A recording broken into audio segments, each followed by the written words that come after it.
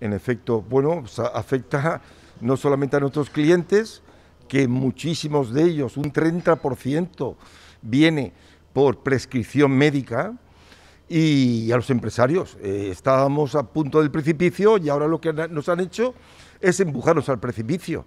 es una situación caótica.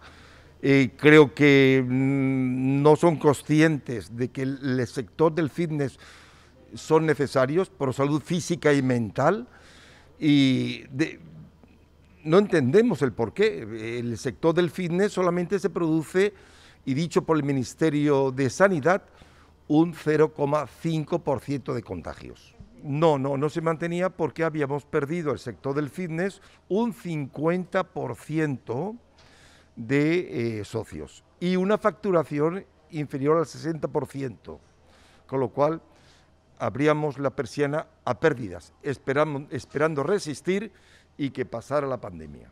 Sí, claro, eh, lo que pasa es que hay muchos que se van a quedar en el camino.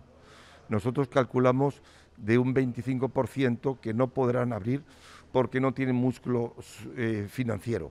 Y entonces eh, muchos establecimientos no van a poder prestar servicios deportivos como consecuencia de la crisis tan tremenda